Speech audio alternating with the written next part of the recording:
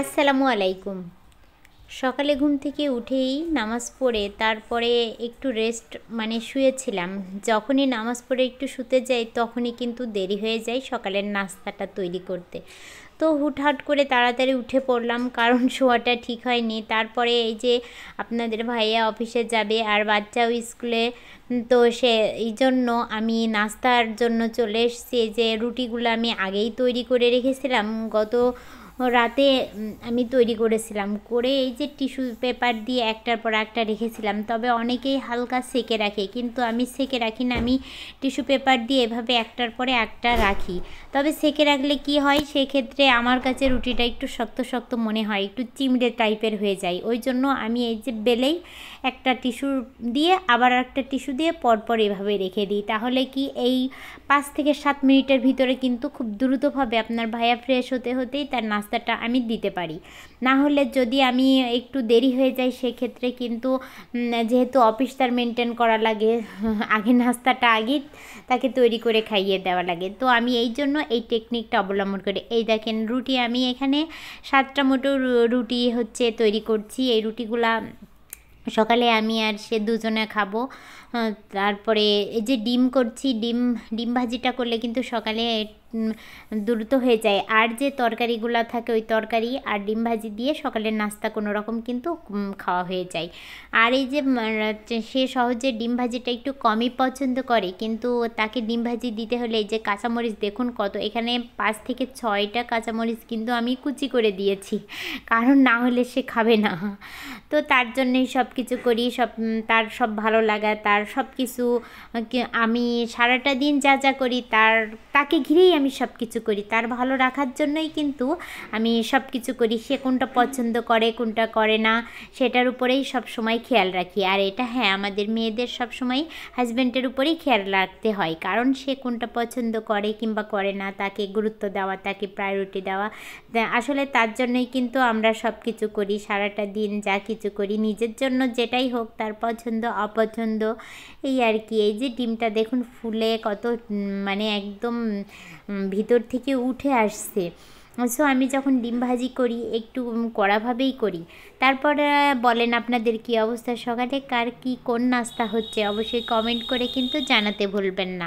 তবে আমি এক এক দিন এক এক রকম করি যেদিন আমার সাধারণত আপনাদের ভাইয়া রুটি খেতেই পছন্দ করে, তো সে রুটি খেতে পছন্দ করে বলে আমি চেষ্টা করি তাকে সব সময় রুটি দেওয়া। তারপরও মাঝে মধ্যে অনেক সময় হয় না, যদি ভাত বেশি থাকে সেক্ষেত্রে তো আর হয় না।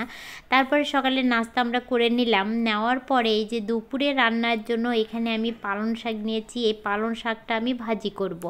আর পালং শাক দিয়ে এখন প্রচুর কিন্তু পানি বের হয়। এই জন্য আমি কি করি, পালং শাকটা প্রথমে একটু হাফ সিদ্ধ করে নিই করে এই যে যতগুলো পানি বের হবে, পানিটা আমি এই যে এই যে, এই একটা ছাকুনি দিয়ে সুন্দর করে চেপে চেপে কিন্তু ছেঁকে নেব। সেই তারপরে রসুন, পেঁয়াজ, আদা যা কিছু দেব সেই ক্ষেত্রে ভাজি করলে কিন্তু পালং শাক ভাজিটা অনেক ভালো হয়। না হলে পানি থাকলে কিন্তু একদম ফ্যাসকা ফ্যাসকা হয়ে যায়। আর এখানে আমি এই যে ছোট মাছ রান্না করব, ওই দিনকে মলা মাছ রান্না করেছিলাম মলা মাছটা শুধুই রান্না করেছিলাম। আর যদি মলা মাছ মনে করেন যে একটু বেগুন, আলু দিয়ে রান্না করবেন, সেই ক্ষেত্রে আমার এই রেসিপিটা ফলো করতে পারেন। আর আমি এখানে আদা, রসুন, জিরা, কাঁচামরিচ সব হচ্ছে বেটে নিয়েছি। নেওয়ার পরে এখানে গুঁড়া মরিচ লবণ, হলুদ মরিচ স্বাদ মতো সব কিছু একসঙ্গে দিয়ে নিচ্ছি। নেওয়ার পরে হালকাভাবে এভাবে নাড়াচাড়া করছি।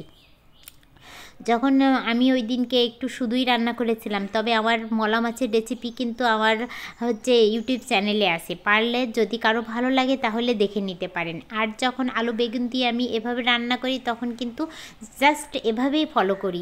আর এভাবে রান্না করলে কিন্তু খুবই ভালো হয়। আলুটা, এখানে একটা আলু দিয়েছি আর বেগুনের হাফ বেগুন দিয়েছি। খুব বেশি কিন্তু দেওয়া যাবে না, অল্প সামান্য পরিমাণে দিতে হবে। সেই ক্ষেত্রে কিন্তু ভালো হয়, কারণ বেশি দিলে খুব একটা ভালো লাগে না। আর জিনিসটাও বেশি হয়ে যায়। যে কোনো কিছু রান্নার ক্ষেত্রে অল্প জিনিসে কিন্তু টেস্ট বেশি হয়। তারপরে ছোটো মাছ জাতীয় জিনিস। এই যে এখন ভালো করে নাড়াচাড়া করব, এই যে বেগুনটা জাস্ট একদম নরম হয়ে আসবে, আমারটা কষা নিতেই। এখনও পর্যন্ত আমার চ্যানেলটি যারা সাবস্ক্রাইব করেননি, সবার জন্য অনুরোধ রইল আমার এই চ্যানেলটি একটা সাবস্ক্রাইব করবেন। যদি আপনাদের একটু ভালো লেগে থাকে, প্লিজ আমাকে একটু সাপোর্ট করতে পারেন। আর হচ্ছে, যারা আমার চ্যানেলটি সাবস্ক্রাইব করে প্রতিনিয়ত দেখছেন, তাদেরকে আমার অন্তর থেকে অনেক অনেক ভালোবাসা। এই যে রান্না করছি আর গল্প করছি আপনাদের সঙ্গে করতে করতে কিন্তু রান্না আমি শেষের দিকেই চলে আসছি। এই যে মাছটা দিয়ে হালকা নাড়াচাড়া করব, কারণ যেহেতু ছোট মাছ বেশি নাড়াচাড়া করলে আবার একটু ঘেটে যাবে। তো সেই জন্যই কিন্তু এভাবে হালকা একটু নাড়াচাড়া করে এর সঙ্গে আমি একটু পানি অ্যাড করে নিব। অল্প পরিমাণে পানি দিলেই হবে, কারণ খুব বেশি পানি লাগবে না। আলু বেগুন তো সিদ্ধ হয়েই গেছে। তাই না? আর আজকে সবাইকে ভুলে গেছি আমি, পহেলা ফাল্গুন ও ভ্যালেন্টাইন্স ডের অনেক অনেক ভালোবাসা ও শুভেচ্ছা রইল। আশা করি আপনারা সবাই অনেক অনেক ভালো থাকবেন আর আপনাদের আগামী দিনগুলো অনেক সুখের ও মধুর হোক। সেই দোয়াই কামনা করি। অল্প পরিমাণে একটু পানি দিয়েছি, দেওয়ার পরে আমি এই যে এখনই কিন্তু পাঁচ থেকে ছয় মিনিট লাগবে, তারপরে হয়ে যাবে। এই যে প্রায় শেষের দিকে আমি একটু জিরা গুঁড়া ও ধনিয়া গুঁড়া দিয়ে নিচ্ছি, একদম লাস্ট পর্যায়ে এসে। হালকা একটু গামাখা গামাখা ঝোল থাকলেই কিন্তু ছোটো মাছ খেতে খুবই ভালো লাগে। এই যে মাছের ফাইনাল লুকটা আমার এরকমই এসছে। এখন সবগুলো মাছ আমি এভাবে উঠায় নিচ্ছি। আর তারপরে হচ্ছে যে পালং শাকটা আমি সিদ্ধ করে রেখেছিলাম, তার জন্য এই যে রসুন, পেঁয়াজ, কাঁচামরিচ সব কেটে নিয়েছি, সবগুলো আমি দিয়ে নিব, নিয়ে হালকাভাবে একটু ভাজি করে নিব।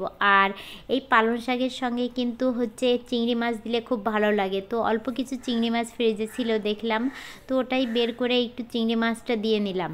এই চিংড়ি মাছ দিয়ে পালং শাক খেতে খুবই ভালো লাগে, আর আমার ছেলে সাধারণত শাক খেতে চায় না, ছোট বাচ্চা তো, কিন্তু যদি চিংড়ি মাছ থাকে, যে কোনো কিছু কিন্তু সে খেতে খুবই পছন্দ করে। তার জন্য আমি কিছু ছিল, এটাই দিয়ে পালং শাকটা রান্না করছি।